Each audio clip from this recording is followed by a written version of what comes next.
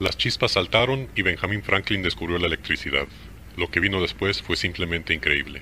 La bombilla eléctrica, el teléfono, la radio, la televisión, la computadora, los vuelos, la exploración espacial, y nada de esto hubiera sido posible sin el descubrimiento y sin el aprovechamiento de la energía eléctrica. Cada uno de estos inventos surgieron gracias a una visión creativa, la imaginación humana. La mente humana es un laboratorio donde las ideas, tanto viejas como nuevas, pueden estructurarse y reestructurarse para poder lograr todo aquello que parecía imposible. Justo ahora, ustedes tienen la capacidad de usar el poder de su imaginación para poder convertir sus sueños en una realidad tangible. Ahora escuchen atentamente al Dr. Hill, quien les dirá exactamente cómo conseguirlo.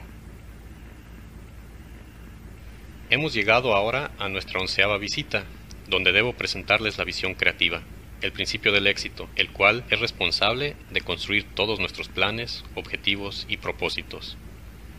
Se ha dicho que la imaginación es la fábrica donde creamos los propósitos de nuestro cerebro y las ideas para nuestra alma.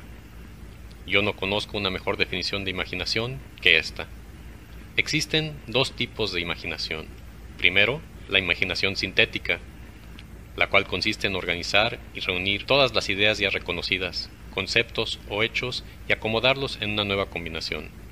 Muy raramente hay alguien que invente una idea o algo completamente nuevo. Casi todo lo conocido por la civilización no es más que la combinación de algo que ya es viejo. En segundo lugar, existe la imaginación creativa, la cual opera a través del sexto sentido y tiene su base en la sección subconsciente del cerebro y sirve como el medio exclusivo a través del cual las ideas nuevas o son revelados básicamente. Permítanme darles algunos ejemplos de la imaginación sintética en acción.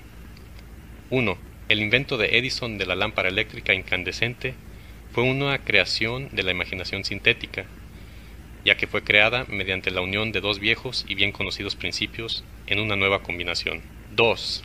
La idea de Clarence Saunders sobre la cual basó su sistema de tiendas Piggly Wiggly fue el resultado de la imaginación sintética, ya que él simplemente tomó prestado el modelo del autoservicio y lo aplicó al negocio de los abarrotes. Pero a pesar de la sencillez de este plan, es bien sabido que le dio a su creador 4 millones de dólares durante los primeros cuatro años en los que comenzaron a operar. 3. El primer automóvil de Henry Ford fue creado a través de la imaginación sintética, por el simple procedimiento de reunir un buen conocido método de transportación, las carretas de caballo, con la máquina trituradora de vapor.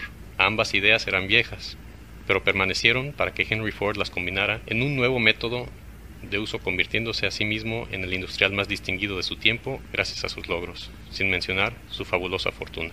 4. El hombre que cubrió un poco de helado con chocolate, le puso un palo para poder agarrarlo, y lo llamó paleta helada, usó la imaginación sintética y comenzó una nueva industria la cual aún tiene una demanda creciente y sus ingresos son enormes cada año. Es seguro asumir que el creador de este plan de venta tan simple fue bien compensado por el uso que le dio su imaginación sintética. 5. F. W. Woolworth utilizó su imaginación sintética mediante el procedimiento tan simple de una tienda de venta al por menor que ofrecía al público una gran variedad de mercancía a 5 y 10 centavos por pieza, y él vivió para ver cómo esta innovación en ventas Comenzó con una serie de tiendas de menudeo, las cuales acumulan anualmente muchos millones de dólares en ventas y convirtió a Woolworth en un hombre rico.